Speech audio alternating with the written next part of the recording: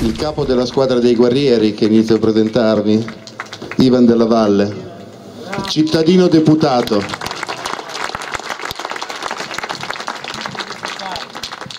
Ci mettiamo di qua. Ciao a tutti. Allora, innanzitutto volevo dire che dobbiamo ringraziare la, la signora, perché noi non la chiamiamo più Presidente della Camera, perché non è degna per quello che ha fatto di essere chiamata da noi in questo modo. E dobbiamo ringraziarla perché noi abbiamo cercato di, di, difendere, di, difendere, la democrazia, di difendere il regolamento, di non regalare 7 miliardi e mezzo alle banche e abbiamo, l'abbiamo cercato di fare in un modo più pacifico e seguendo il regolamento, cioè cercando di bloccare quella votazione perché volevamo continuare a discutere regolarmente i nostri emendamenti. Loro hanno fatto una cosa che non esiste, hanno messo questa ghigliottina che non esiste nel regolamento. Io vi invito ad andare a scaricare il regolamento della Camera, non esiste. Il problema è che a mezzanotte sarebbe scaduto questo, questo decreto e quindi hanno tagliato la discussione, non ci hanno permesso di, fare, di discutere i nostri emendamenti, non ci hanno permesso di discutere quello che era il nostro diritto di obiettare su quello che stavano facendo, perché noi avevamo anche interrotto la discussione dicendo va bene, questo è un decreto, noi siamo d'accordissimo ad abolire l'IMU, ma togliamo la parte su IMU Banca Italia che regala 7 miliardi e mezzo alle banche, che anche l'Europa adesso ha detto che non era regolare questo regalo, eh, va benissimo, lo votiamo entro mezzanotte, aboliamo l'IMU. No, invece loro hanno fatto i titoloni sui loro giornali di regime dicendo che il Movimento 5 Stelle non voleva abolire l'IMU e voleva far pagare l'IMU agli italiani e non dicevano nulla, nulla sul regalo alle banche. E quando la signora è andata da Fazio, lo zerbino che non gli ha fatto neanche una domanda, ha detto che eravamo dei sovversivi, dei potenziali stupratori e questa persona si deve vergognare di quello che ha detto in televisione, si deve vergognare perché dovrebbe essere imparziale e dovrebbe essere garante di tutte le forze presenti in Parlamento, ma questo lo sappiamo che non è così. Noi grazie a questo siamo io personalmente sono stato espulso 25 giorni appunto per aver cercato di bloccare questa votazione e cosa abbiamo fatto? Siamo usciti finalmente da quel postaccio e siamo andati in mezzo alla gente, in mezzo ai cittadini. Siamo partiti da Verona, io ho fatto da Verona fino a Salerno, tre tappe al giorno. Le piazze erano piene, naturalmente le televisioni non hanno detto nulla ed è stato molto, molto più bello e molto più utile che stare chiusi dentro quel palazzo. Parlavamo con le persone, ci dicevano i loro problemi e le, man mano che, come siamo dei portavoce, man mano che le persone ci eh, spiegano quali sono i problemi sul territorio, noi li riportiamo in Parlamento, punto per punto.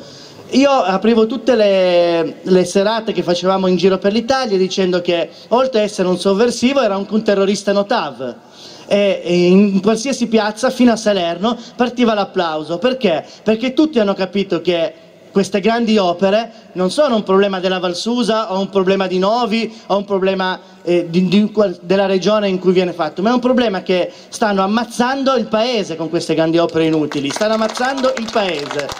Ma perché?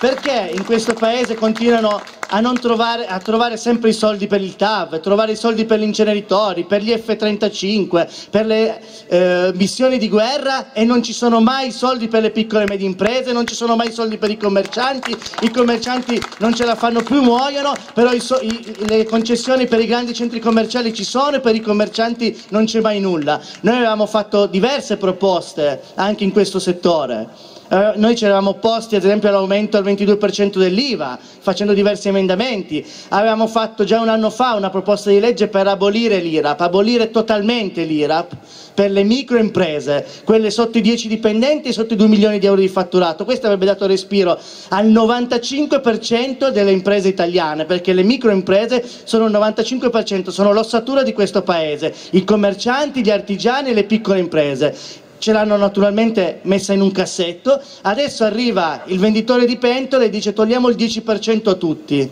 togliamo il 10% a tutti senza agevolare, senza agevolare le micro e piccole imprese come volevamo fare noi. Bene, ma perché i soldi per le grandi opere ci sono sempre? E invece per le piccole e medie imprese, perché i soldi in questo paese devono andare sempre alle solite persone. Questo è il vero motivo.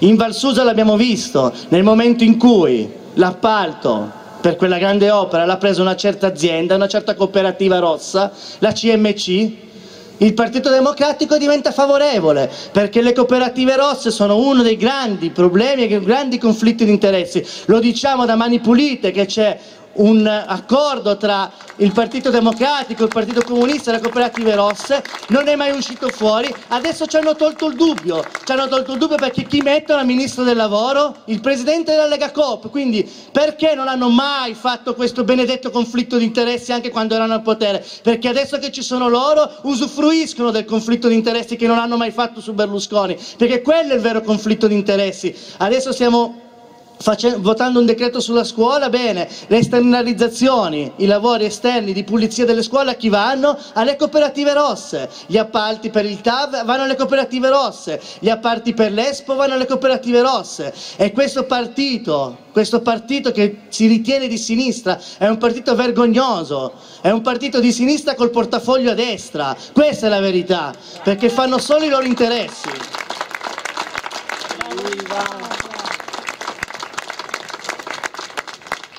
Naturalmente non, non, siamo stati solo a guardare, abbiamo fatto migliaia di proteste, in, in, un anno migliaia di proposte, in un anno abbiamo presentato più di 4.000 atti parlamentari. Ne faccio alcuni esempi, io prima ho parlato dell'IRAP, ad esempio adesso farà appena insediato eh, è andato a fare la visita alle scuole. Bene, in, nella legge di stabilità, proprio io, primo firmatario, avevo fatto un emendamento, l'avevamo chiamato 4.000 cantieri era un emendamento per mettere a posto dal punto di vista della sicurezza e dell'efficienza energetica 4.000 scuole. Ce l'hanno bocciato e adesso lui va in giro per le scuole a dire ma la maggioranza che sta appoggiando questa persona è la stessa che ha bocciato quell'emendamento perché questa persona non è passato da elezioni, si è messo lì, chi l'ha messo? Chi ha voluto che questa persona arrivasse senza il voto di nessuno? Certo, il Re Giorgio, Re Giorgio che si è riconfermato per altri sette anni, cosa mai successa nella Repubblica? Come mai è stato riconfermato per altri sette anni e continua a fare il garante di questa situazione, di questo perenne inciucio tra destra e sinistra che continuano a governare questo paese? E lo si vede benissimo perché noi eravamo a livello proporzionale, eravamo la prima forza politica, eravamo la prima forza politica di questo paese, in un qualsiasi eh, Costituzione diciamo che il, il, partito a livello proporzionale che prendeva più voti era quello che doveva avere il mandato per creare il governo. Invece cosa hanno fatto? Si sono messi destra e sinistra assieme e gliel'hanno dato a loro.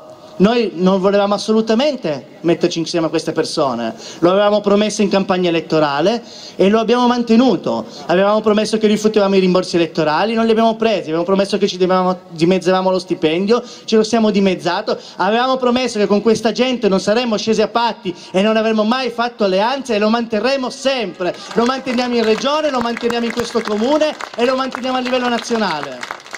Non possiamo stare con queste persone che continuano a regalare soldi solo ai loro amici. Un altro esempio, i soldi non ci sono, i soldi non ci sono, 22 milioni di euro regalati a Sorgenia. Sorgenia aveva perso una causa con un comune per inquinamento ambientale e per abuso edilizio, erano 22 milioni di euro all'amico De Benedetti, è bastato un emendamento nella legge di stabilità, 22 milioni di euro abbonati, fine. È questo, è, è, è, sempre la solita storia che i soldi devono andare alle solite persone. Poi parliamo delle slot machine, c'era una multa da miliardi abbonata, perché? Perché queste persone poi finanziano la fondazione Vedrò, dove c'era Presidente Letta, e via dicendo, è tutto così, i soldi devono andare sempre alle stesse persone. Noi abbiamo girato un po' tutto, tutto, il paese e ogni piazza io chiudevo dicendo una cosa, noi abbiamo un Presidente del Consiglio che non è stato votato da nessuno, la prima votazione utile da quando è stato insediato saranno queste europee, se noi vinciamo le europee, il giorno dopo chiediamo le dimissioni e chiediamo di andare immediatamente a nuove elezioni e li mandiamo tutti a casa, questa è una promessa. La stessa cosa dobbiamo fare in Regione Piemonte e la stessa cosa dobbiamo fare in tutti i comuni dove ci presentiamo. Grazie.